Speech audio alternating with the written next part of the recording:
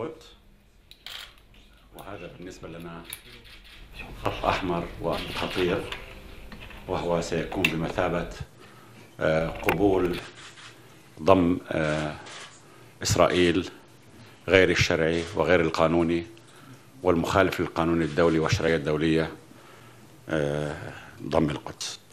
وبالتالي الرسالة تطلب الرئيس بوتين التدخل بكل ما لديه لثني ومنع هذه الخطوة. هذه الرسائل ذهبت أيضا إلى الجامعة العربية إلى مؤتمر التعاون الإسلامي منظمة التعاون الإسلامي إلى عدم الانحياز وإلى العديد من الرؤساء في العالم لأنه القيام بنقل السفارة إلى القدس سيكون له نتائج خطيرة للغاية. لا أريد الخوض فيها المسألة الثانية التي تم بحثها اليوم هو أولا تقديم شكرنا كدولة فلسطين وشكر سيادة الرئيس محمود عباس إلى الرئيس بوتين والقيادة الروسية والدبلوماسية الروسية على تصويتهم في مجلس الأمن لصالح القرار 23 34 2016 هذا القرار الذي أكد على القانون الدولي وأسس القانون الدولي والقانون الدولي اللساني ومعلوماتنا ومعرفتنا هذه هي نقاط الروسية ليس فقط على صعيد فلسطين أو المفاوضات الفلسطينية الإسرائيلية بل على صعيد مواقف الروسية من كل قضايا العالم. أيضا سيكون لدينا في موسكو يومي الأحد والاثنين القادمين لقاءات بين كل فصائل العمل السياسي الفلسطيني للبحث في الخطوات العملية لإنهاء الانقسام وتحقيق المصالحة الفلسطينية ونحن يعني نثمن عاليا دور الأصدقاء في روسيا في هذا الملف. لكن بصراحة تامة ندرك تماما إن لم نساعد أنفسنا كفلسطينيين لن يساعدنا أحد ولكن علينا كفلسطينيين أن ندرك أيضا أن لا دولة فلسطينية في غزة ولا دولة فلسطينية دون غزة. وبالتالي عندما هذه الأيام عندما تكون موسكو في دمشق وواشنطن في دمشق وبرلين في دمشق ولندن في دمشق وباريس في دمشق هؤلاء ليسوا في نزهة في دمشق. العالم يتحدث بلغة مصالح هناك خارطة سقطت ولم تعد قادرة على الاستمرار وهي خارطة ساكس بيكو وهناك خارطة جديدة قيد الرسم. ونحن رسالتنا للعالم أن هذه الخارطة يجب أن تتضمن دولة فلسطين على حدود 67 بعاصمتها القدس الشرقية لأن هنا يكمن مفتاح الأمن والسلام والاستقرار. آه نحن في طليعة من يحاول من يحارب الإرهاب والتطرف ونحن نريد الانتصار على الإرهاب والتطرف وداعش أو غيرها من هذه الحركات الإجرامية مجموعة من العصابات القاتلة. نحن كفلسطين يعني نقف صف إلى جنبا إلى جنب مع كل من يحارب هذه الحركات.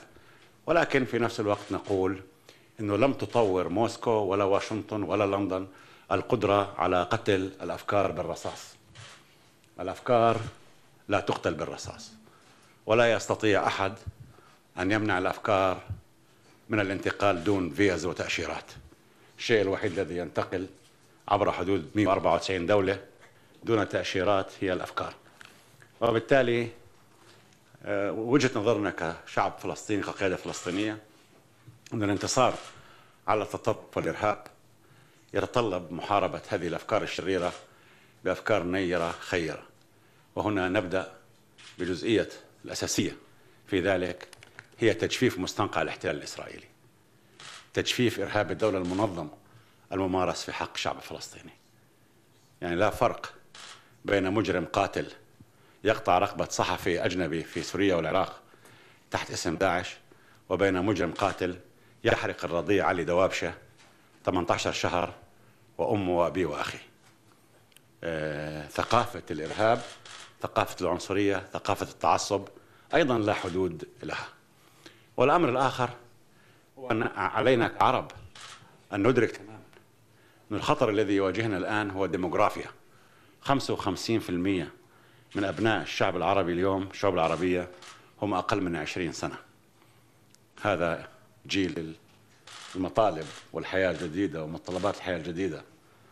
وبالتالي لابد من إجراءات تعيد النظر في هياكلنا الاقتصادية والتعليمية والثقافية والاجتماعية وما إلى ذلك. لابد أن نواكب العصر. بذلك يعني باعتقادي بهذه الأدوات وبهذه الأفكار نستطيع الانتصار على الإرهاب. ولكن أن استمرار لغة الإملاءات والاعتقالات والاغتيالات والحصار والإغلاق هذا إرهاب دولة منظمة ضد الشعب الفلسطيني. هذا الاحتلال اللي سيكون عمره خمسين عام في شهر حزيران القادم. آن الأوان أن ينتهي. لأنه نحن كشعب فلسطيني كقيادة فلسطينية كمنظمة تحرير فلسطينية كدولة فلسطين اعترفنا بحق إسرائيل في الوجود والعيش بأمن وسلام على حدود 4 حزيران 67 وبالتالي المطلوب آه، هو أن نحصل على اعتراف إسرائيل بدولة فلسطين على حدود 67 آه، لا أن يستبدل نتنياهو وحكومته مبدأ الدولتين بدولة بنظامين one state two systems. One state two systems تعني فقط الأبارثايد من يعتقد أنه يستطيع أن يكرس الأمر الواقع الآن هناك طرق في الضفة الغربية والقدس لا نستطيع استخدامها كفلسطينيين. فقط الإسرائيليين يستخدموها. والأمراض مثل العنصرية والأبرثايد عندما تدخل تحت عروقنا كبشر عبر التاريخ كان هناك توجه لدى العقول الإنسانية في مختلف القارات والأجناس لتبرير هذه الظواهر تارة نستخدم السيكولوجيا وتارة السوسيولوجيا وتارة ال econom ال economics الاقتصاد والآن إسرائيل تستخدم الأمن كمبرر لهذا النظام المقيت نظام العنصرية والاستبداد والأبرثايد والتطرف. هذا يجب أن ينتهي إذا أردنا فعلا الانتصار على الإرهاب في منطقتنا. المؤتمر باريس نحن نبذل كل جهد ممكن مع كل الأطراف الدولية للحفاظ على خيار الدولتين. وبصراحة لروسيا ميزة عن الآخرين آه، روسيا من أوائل الدول التي تحدثت وآمنت بخيار الدولتين على حدود 67 أي دولة إسرائيل تعيش بأمن وسلام إلى جانب دولة فلسطين على حدود 67 لدينا سفارة كفلسطين في موسكو منذ عام 1988 وهذا حقيقة. لذلك يعني نحن قلنا لأصدقائنا في فرنسا لماذا لا تعترفوا بدولة فلسطين؟ يعني الذي يريد أن يحافظ على خير الدولتين عليه أن يعترف بالدولتين. لذلك نحن نبذل كل جهد ممكن مع فرنسا مع 77 دولة ستشارك في مؤتمر باريس بما فيها روسيا ما فيها الولايات المتحدة ما فيها الدول العربية دول أمريكا اللاتينية أفريقيا آسيا الاتحاد الأوروبي تحت مسألة مبدأ واحد. الحفاظ على خيار الدولتين على حدود 67 وفي الحقيقة القرار الأممي 23 34 2016 في مجلس الأمن ثبت عامل جديد لم لم يكن موجود في أي من القرارات السابقة ألا وهو مبدأ الدولتين على حدود الرابع من حزيران 67 واعتبار كل ما قامت به إسرائيل من خطوات وإملاءات على حدود 67 هو لاغ وباطل ولن يقبل. وأيضا إقرار مبدأ جديد في هذا القرار وهو التزام الأطراف بالقانون الدولي والقانون الدولي الإنساني وانطباق ميثاق جنيف الرابع لعام 49 على أرض فلسطين بما فيها الشرقية إذا يعني نحن نرحب بهذا الجهد الدولي المبذول ولكن في نهاية المطاف نقول بصوت مرتفع آن الأوان يعني لمبدأ المساءلة والمحاسبة إن أردنا فعلا الأمن والسلام والاستقرار في هذه المنطقة. هذا لن يتأتى إلا بتجفيف مستنقع الاحتلال الإسرائيلي. إذا أردنا فعلا أن نقلب صفحة وأن ندخل إلى دوائر الأمن والسلام والاستقرار في المنطقة هذا لن يحدث ما استمر الاحتلال الإسرائيلي. آه، خمسة عقود على الاحتلال مئة عام على سايكس بيكو 99 عام على وعد بالفور 100 عام للمعاناة الفلسطينية والنكبة الفلسطينية. هذا كافي. آن الأوان لوضع حد لكل ذلك. نحن اعترفنا بحق إسرائيل بالوجود. نحن اعترفنا بدولة إسرائيل على حدود 67 نحن دخلنا عملية سلام ذات مغزى على أمل أن نصل إلى إنهاء هذا الصراع عبر المفاوضات وعبر الطرق السلمية. ولكن للأسف الشديد عندما بدأت هذه المفاوضات مع إسرائيل. عام 1994 كان هناك 200 ألف مستوطن في الضفة والقدس. اليوم العدد ارتفع. بفعل الحكومات الإسرائيلية المتعاقبة إلى 600 ألف. أمام الحكومة الإسرائيلية خيار. ونحن نأمل عندما تخير الحكومة الإسرائيلية بين آه، الإملاءات والمستوطنات وبين المفاوضات والسلام أن تختار السلام والمفاوضات. لأن الاستيطان والسلام متوازيان لن يلتقيا. مرة أخرى نثمن عاليا ونشكر عاليا جهود الأصدقاء في روسيا فيما يتعلق بملف المصالحة الفلسطينية. لا أريد آه، أن أحمل روسيا أكثر ما تحتمل أو أي طرف تدخل سواء كان في السعودية أو مصر أو قطر أو غيرها من الدول العربية والدول العالمية أو سويسرا لاحقا لأن هذه المسألة كما قلت إن لم نساعد أنفسنا كفلسطينيين لن يساعدنا أحد. آملين من الأصدقاء في روسيا استكمال مساعيهم. يعني آه، فيما يتعلق يعني العلاقة الفلسطينية الإسرائيلية لم تكن في وضع يعني أدنى مما هي عليه الآن. هذه حقيقة لا أريد إنكارها. يعني الثقة أصبحت معدومة الأوضاع في جد خطيرة. وبالتالي نحن نأمل من الأصدقاء في روسيا بذل كل جهد مستطاع وكان هناك محاولة للرئيس بوتين شهر سبتمبر الماضي لجمع السيد آه، رئيس وزراء الإسرائيلي نتنياهو والرئيس محمود عباس في موسكو. وافق الرئيس محمود عباس ولكن نتنياهو طلب إرجاء ذلك وتأجيل ذلك. يعني نحن, نأمل من الأصدقاء في روسيا استمرار كل جهد ممكن آه، للحفاظ على خير الدولتين والإخراج آه، الوضع الحالي من المازق الذي تعيشه عملية السلام وشكرا جزيلا وأنا على استعداد لأخذ الأسئلة الآن.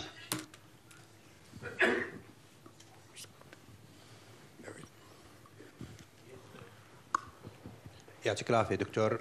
آه، في عندي سمحت ثلاث أسئلة. عرف حالك لو سمحت بس. رائد جابر جريدة الحياة. في عندي ثلاث أسئلة إذا سمحت. يعني راح أبدأ من الشيء اللي تفضلت بنهاية حديثك فيه حول اللقاء مع مع نتنياهو إنه آه، أعلنتم بالفعل أكثر من مرة إنه آه، الجانب الفلسطيني على استعداد لهذا اللقاء بحال اقترحت موسكو. مو شو هو الشرط الشروط اللازمة لإنجاح مثل هذا اللقاء؟ الشروط من جانب يعني طبعا الجانب الفلسطيني بالدرجة الأولى. سؤالي الثاني له علاقة طبعا باللقاء الفلسطيني المنتظر. يعني حسيتك دكتور مش كثير متفائل آه، شو هو الحد الأدنى المطلوب من هيك لقاء؟ يعني حسب ما فهمنا إنه من الجانب الروسي رح يكون آه، يعني حضور خبراء مش دبلوماسي آه، بهذا اللقاء، هل هذا صحيح ولا لا اولا؟ وثانيا شو الحد الأدنى المطلوب من هيك لقاء؟ يعني النتيجة اللي ممكن تكون على الأقل ممكن نعتبرها إنه إيجابية إن شاء الله. النقطة الثالثة روسيا طبعا موقفها واضح حول قضية الاستيطان وعموما حول ملف التسويه حول الوضع الفلسطيني موقفها واضح دائما ما مو جديد، لكن في ملاحظة إنه الموقف الروسي أو التحرك الروسي حول قضايا آه، معينة لها علاقة ببضائع الاستيطان بضائع المستوطنات هو أقل من المستوى الأوروبي مثلا. إنه بروسيا في بضائع إسرائيلية كثيره إحنا ما بنعرف منشاها وما في أي قيود تفرض على دخول بضائع المستوطنات إلى روسيا. هل هذا الموضوع مرشح للإثارة لأنه يكون مثار بشكل أو بآخر؟ شكرا. أنا بقترح اخذ كل الأسئلة. لا سؤال سؤال. لا أظن واحدة واحدة أحسن. ليش؟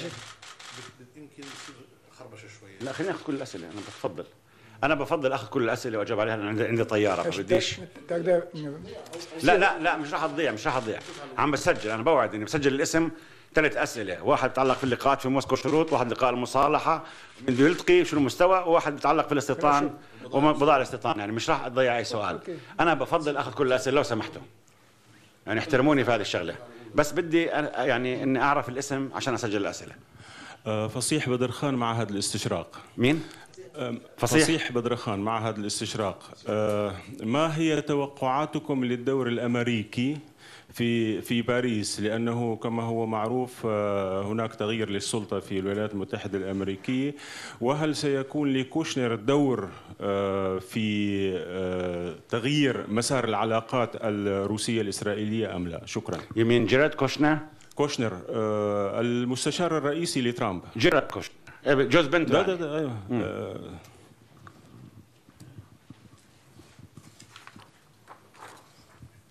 آه، سليم مالكي وكالة الأنباء الجزائرية. بخصوص مؤتمر باريس ما ما هي الآمال التي يعلقها الفلسطينيون على مؤتمر باريس؟ أو يعني ب ب بكلام آخر ماذا تنتظرون أن يحقق هذا المؤتمر كنتائج تساعد الفلسطينيين على تحقيق ما يصبون إليه.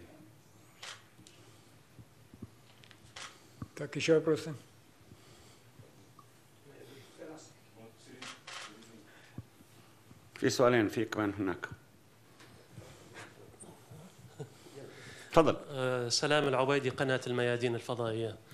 دكتور آه، سؤالي هو عن آه، كيف فسر لكم آه، الجانب الروسي آه، موقفه من التصويت في مجلس الأمن على القرار المتعلق بالاستيطان؟ لأننا هنا في روسيا سمعنا انتقادات آه، بأنها مرر بررت هذا القرار وكأنه يعني مثل القنبلة الموقوتة. لكن روسيا صوتت إلى هذا القرار لأنها دائما تدعم حقوق الشعب الفلسطيني.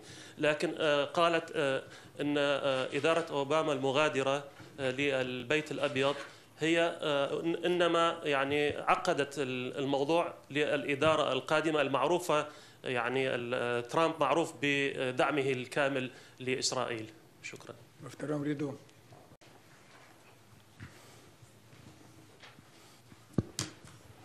معالي الاستاذ أندري كرسانوف وكاله سبوتنيك روسي سيغودني للخدمه العربية. سؤالي أندري كرسانوف أندري. أندري كرسانов أول شيء أهلا وسهلا بكم مجددا في موسكو. وسهلا فيك سيد أندري. آه، سؤالي عن المباحثات التي ستكون هنا في موسكو بين الفصائل الفلسطينية. نعم. ما هو الجدول الرئيسي يعني المواضيع؟ هناك آه، حاجة للمصالحة الفلسطينية بالدرجة الأولى بين فتح وحماس. يعني ما هو الجدول و ما برنامج إذا تعرفون عن هذه المباحثات تحديدا؟ وشكرا.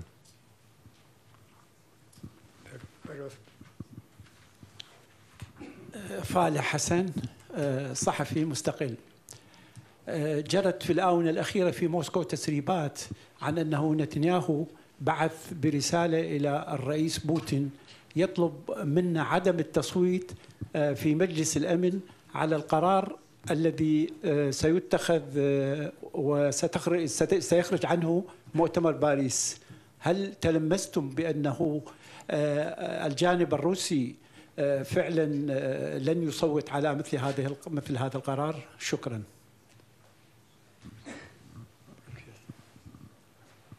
السؤال الاخير هناك تفضلي وراك بليز جيف في في كمان واحد سائل من سوري سوري من بلغاريا في واحد هون وفي واحد هون حط هذه إذا بلغاريا Здравствуйте, я Николай Крыстев, Болгарская национальная... Just one second please let me hear the translation Excuse me. А, Я Николай Mark, Болгарская... what's your name? А, Николай Крастев. Николай. Yes, from Bulgarian National Radio. А, Мой вопрос э, к вам такой, как вы смотрите сейчас на роли Турции э, в палестинском примирении и вообще как вы видите ситуацию, которая проходит там, и Анкара, видим, что очень активный игрок в этом процессе. И сможете ли еще что-нибудь сказать э, насчет роли России э, внутри палестинском э, примирении? Спасибо.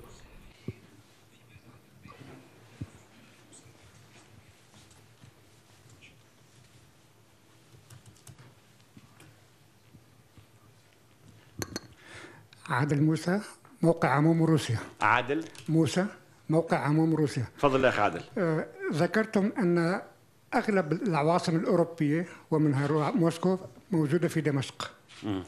ولكن نسيتم أن القدس هي العاصمة الأولى الموجودة في دمشق. وذكرتم أيضا بأن الحل للمسألة الفلسطينية اليوم هو عبر آه، حل قضية آه، أراضي 67 ولكن آه، ألا ترون أن حل مشكلة السلام في الشرق الأوسط آه، بالكامل هو من خلال هذه من خلال هذه المادة؟ أي أو ماده آه، عفوا حل 242 إيش 2 4 2 200 قرار قرار هيئة الأمم المتحدة 242 338 أو آه، ونص عودة- على دولتين 67 اللي قررت 2 4 2 3 8 عدم جواز احتلال الأراضي الغير بالقوة هذا بعد 67 صدر. آه، وضح لي. شو سؤالك. احكي لي بصراحة. يعني ماذا عن ارض 48 بدك تسأل ولا شو؟ لا لا آه، أن أن يشمل آه، أن يشمل الصراع آه، الصراع العربي. المسألة الأزمة السورية حاليا هي آه جزء أزمة سوريا هي جزء من الحل الفلسطيني الموجود بعودة أراضي 67 يعني قصدك الجولان العربي السوري المحتل؟ أيوه. okay. okay. okay. أنا إن شاء الله مش راح أغيب ولا أي آه سؤال. زي ما وعدت. ببدأ بالأخ رائد. اللقاءات في موسكو زي ما وصفتها. وين الاخ رائد؟ آه اخ رائد زي ما وصفتها هي لقاءات مش مفاوضات. يعني في فرق بين اني أقول لقاءات وبين أن أقول آه مفاوضات. لذلك إحنا لما أجت الدعوة من السيد الرئيس بوتين للقاء في موسكو وافقنا. إحنا بنيجي لموسكو بنطرح مواقفنا. لكن هو هو يعني حتى ما نبالغ هو لقاء. لقاء حتى يشوف كيف بناء الجسور بين الجانبين الفلسطيني والإسرائيلي. ومعروف إحنا في النهاية لما بنقول يعني إنه الاستيطان العقبة الرئيسية أمام السلام ولما بنقول إنه التزامات إسرائيل يعني ما تظلموناش وتقولوا شروط فلسطينية. يعني إذا في مفاوضات وبنقول وقف الاستيطان هذا مش شرط فلسطيني. هذا التزام على إسرائيل. من اتفاق أوسلو إلى الآن كل الاتفاقات نصت على عدم جواز قيام أي طرف باتخاذ إجراءات من شأنها الإجحاف واستباق نتائج مفاوضات الوضع النهائي على موضوع الاستيطان والقدس وغيرها. وبالتالي نحن يعني أدركنا أهمية الدعوة الروسية للقاء حتى نستطيع إعادة بناء الجسور الموصلة إن تمكنا آه، للمفاوضات. لا بالنسبة للمصالحة سيلتقي السيد لافروف بالشخصيات الفلسطينية وهي تمثل كل الطيف السياسي الفلسطيني باعتقاد يوم الاثنين ساعات سفير يوم الاثنين سيقابلهم يعني على مستوى في هو السيد آه، لافروف وسيلتقي آه، بهم. آه، بضائع المستوطنات نعم نحن معك. نحن توجهنا برسائل لجميع دول العالم بما فيها الأصدقاء في روسيا أكثر من مرة لمقاطعة منتوجات المستوطنات الاستعمارية الإسرائيلية. وهذا شيء أخلاقي وقانوني. وهذا مخالف لقانون الدولي ومخالف لقانون الروسي.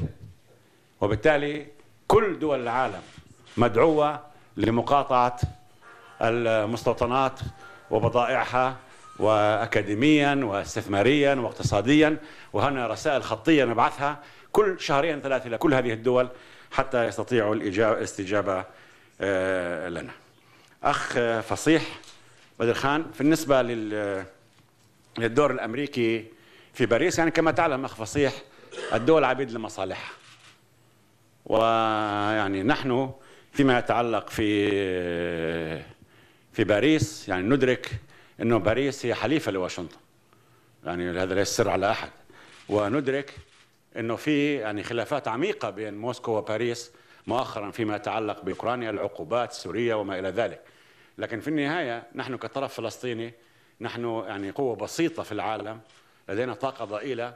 يعني ندرك تماما إنه إلى الآن لا اختلاف يعني بين موسكو وبين واشنطن وما بين العالم كله إنه العالم أجمع كما جاء في القرار 23 34 إنه الحل يتمثل بمبدأ دولة فلسطين تعيش بأمن وسلام إلى جانب دولة إسرائيل على حدود 67 يعني لا يختلف أحد عن هذه النقطة.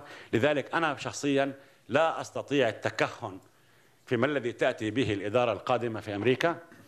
يعني أنا لا أدعي إني أعرفهم. وأقول لك إنه لحد الآن يعني تحليلي للمسائل إنه هذه هذه مسألة ستكون unpredictable وانسيرتن بمعنى عدم الوضوح وعدم القدرة على التنبؤ.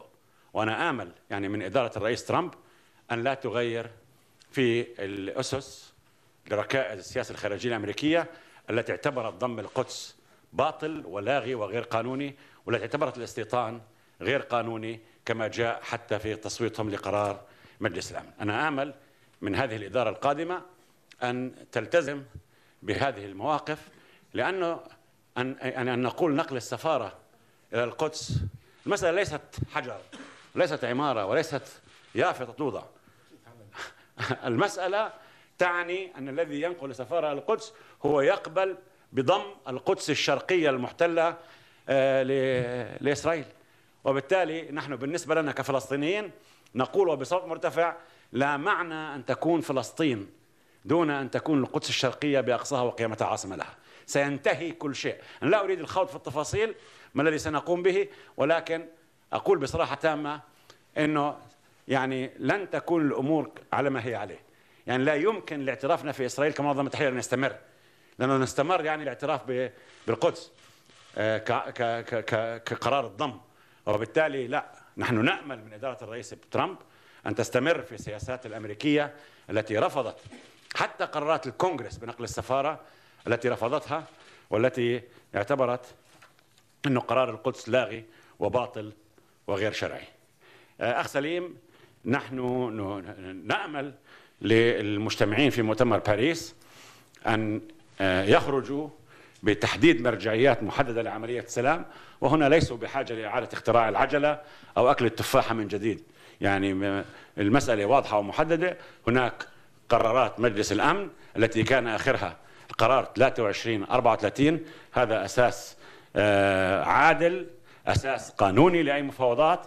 آه، المبدأ التوصل إلى إنهاء الاحتلال الإسرائيلي الذي بدأ عام 67 وإقامة دولة فلسطين المستقلة بعاصمة القدس الشرقية وحل قضايا الوضع النهائي وعرس قضية اللاجئين والأسرى استنادا لقرارات الشرعيه الدوليه ذات العلاقة من 242 وصولا إلى القرار 23 آه، 34 آه، محل آه، عادل لقضية اللاجئين استنادا للقرار 194 نريد أن نقوم بذلك من خلال عملية تفاوضية. نريد سقف زمني لهذه المفاوضات وسقف زمني للتنفيذ حتى لا تكون مفتوحة open ended يعني. الأمر الثالث الذي نريد من مؤتمر باريس يعني نريد آلية دولية للمتابعة والمراقبة والتأكد من التنفيذ. مشكلتنا في سلوك التفاوض الإسرائيلي في حكومات المتعاقبة أنه كلما توصلنا إلى اتفاق يخرج علينا رئيس وزراء إسرائيلي للقول ليس هناك مواعيد مقدسة والانتقائية في التنفيذ. نحن نعرف أنه عندما تتوصل إلى اتفاق أنت تدفع وتأخذ. وبالتالي يعني هذه الاتفاقات يجب أن تحترم. هناك مواعيد. كان يجب أن تنتهي مفاوضاتنا الانتقالية مع إسرائيل حسب موقف إسرائيل سنة 1999 يعني قبل 18 عام من اليوم. وبالتالي قالت إسرائيل ليس هناك مواعيد مقدسة. طب إذا أنا خالفت بند من الاتفاق إسرائيل لها أسنان. تغلق غزة تغلق أريحة تمنع الحركة. طب أنا إذا خالفت إسرائيل الاتفاقات شو أعمل؟ عم بكتب للافروف وبكتب للأمريكان وبكتب للفرنسيين وللبريطانيين. أريد آلية دولية. follow up mechanism يضمن لي تنفيذ ما يتم الاتفاق عليه. يراقب كيفية التنفيذ. هذا من حقنا. إذا أردنا بالفعل عملية سلام ذات مصداقية لابد من معايير ومرجعيات محددة. وهنا واضح المرجعيات. حددها القرار 23 34 نريد سقف زمني لهذه المفاوضات التنفيذ ونريد آلية آه، للمتابعة وهذا ما نطمح له مؤتمر باريس. أخ سلام أنا لست متحدثا باسم روسيا. آه، لأعرف أنا بعرف أنه عندما آه، ذهبنا إلى مجلس الأمن بمشروع القرار 23 34 وكنت أنا شخصيا على اتصال مع الأصدقاء في روسيا لم يكن في لحظة واحدة أي تردد لدى روسيا من تصويت هذا القرار لم يكن وأنا للتاريخ أقول وكنت أتحدث مع السيد فيرشينيان حول كل نصوص القرار لم يكن في ثانية واحدة تردد من قبل روسيا للتصويت على هذا القرار. أما ما بعرفش أنا عقدت الأمور إيش عقدت الأمور الإدارة القادمة؟ إيش عقدت الأمور؟ بالعكس الذي يريد السلام هذا حدد المبادئ والأسس والركائز المستندة إلى القانون الدولي والقانون الدولي الإنساني والشرعية الدولية. لتحقيق السلام العادل القائم على مبدأ دولة فلسطين تعيش بأمن وسلام إلى جانب دولة إسرائيل حدود 67 وعلى فكرة هذا موقف الاتحاد السوفيتي من عام 1948 سبقت روسيا سبق الاتحاد السوفيتي كل دول العالم بخيار الدولتين الذي لم نقبله نحن كفلسطينيين إلا عام 1988 هذه حقيقة. وبالتالي لم أرى أنا أي تردد في آه، في موقف روسيا من التصويت آه، لهذا القرار. وما بعرفش مين اتصل معهم مين ما اتصلش معهم اتصل نتنياهو اتصل. هذا مش يعني تقدروا تسألوا الروس يعني ما بعرفش أنا شو بس بعرف اتصالاتي مع الأصدقاء في روسيا. أثناء الخمسة أيام اللي سبقت آه، تصويت على القرار كانت روسيا في كل لحظة من اللحظات داعمة ومصوتة لهذا القرار. لم يحدث أنه كان في تردد أو سؤال أو استفسار. قيل لنا سنصوت للقرار وتم التصويت للقرار. أندري آه، ما هو آه، جدول الرئيسي للمحادثات الفلسطينية؟ نحن كنا في بيروت أول أمس. ككل فصائل العمل السياسي الفلسطيني. فتح وحماس والجهاد والشعبية والديمقراطية والجميع مع احترامي للأسماء التي لم أذكرها. واتفقنا لأول مرة على بيان يعني أرجو أن يكون نقاط نقاط ارتكاز واضحة محددة. يعني نزلنا من السلوك التفاوضي حول ما الذي نريد أن نحصل عليه قبل الاتفاق إلى مبدأ عملي وهو تشكيل حكومة وحدة وطنية. هذا اتفقنا عليه في بيروت. الآن أنا آمل أنه يعني الأصدقاء في روسيا قالوا لنا مرارا وتكرارا أنه نحن مع دولة فلسطينية ولكن يعني يفهموا ما فيش دولة فلسطينية في غزة وما فيش دولة فلسطينية بدون غزة. وأيضا لا أحد يقبل دولة فلسطينية دون آه، سلطة واحدة وسلاح شرعي واحد وسيادة قانون. وأنا مرة ثانية بقول بثمن عاليا جهد الأصدقاء في روسيا لتمكيننا من اتخاذ الخطوات المطلوبة لأنه لما بقول أنا إنه يعني دول عبيد لمصالحها يعني لما تكون موسكو في دمشق وواشنطن في دمشق أيضا بيدركوا تماما إنه الدولة الفلسطينية هي الدفع باتجاه مربع الأمن والاستقرار والسلام في هذه المنطقة. هذه الحقيقة. ولكن في النهاية هذا بيرجع لنا كفلسطينيين وبأمل أنا أن نكون وصلنا إلى الإدراك إنه مصلحتنا العليا الآن. إن أردنا مواجهة أي تطورات وتحديات أمامنا إسرائيلية أو من ترامب أو من غيره تكمن في نقطة ارتكازنا في وحدتنا الوطنية.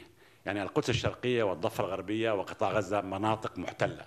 هناك مسؤولية سلطة الاحتلال إسرائيل. لا يوجد من يختلف حوله لا يوجد من يقتتل حوله.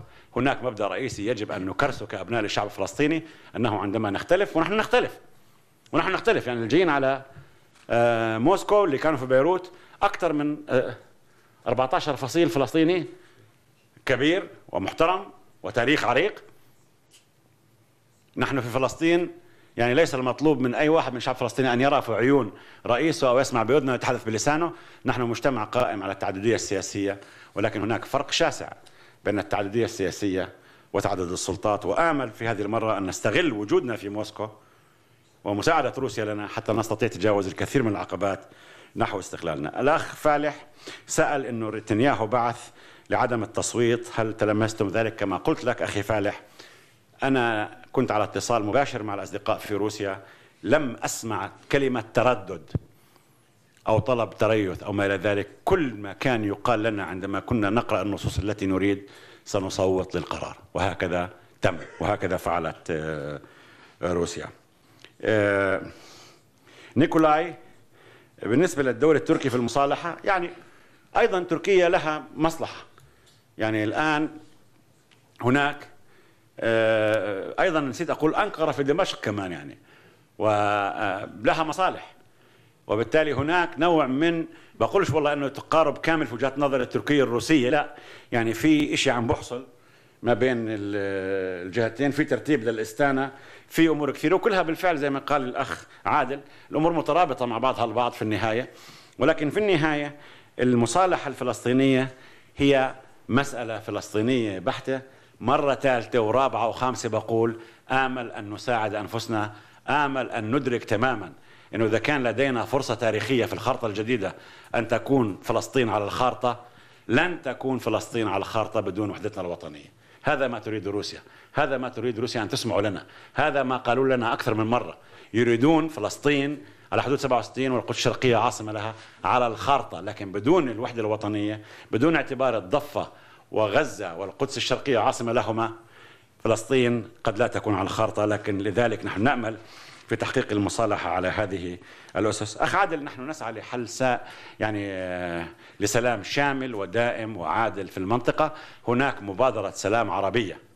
هي أفضل يعني ما قدموا العرب منذ عام 1948 في العام 2002 قدموا مبادرة السلام العربية التي تقول إذا ما انسحبت إسرائيل من جميع الأراضي العربية المحتلة بما فيها الجولان العربي السوري المحتل واستكملت انسحابها ما تبقى من الأراضي اللبنانية والأراضي الفلسطينية المحتلة بما فيها القدس سيصار إلى علاقات عربية. لذلك هي جزء من الحل. يعني نحن نريد سلام شامل ودائم وعادل ونحن نأمل في يوم من الأيام أن توافق حكومة إسرائيل على مبادرة السلام العربية. أشكركم آه، شكرا جزيلا على حضوركم وأشكركم على استضافتكم. والآن علي أن أتوجه إلى المطار للمغادرة وشكرا جزيلا لاستضافتي في روسيا. شكرا.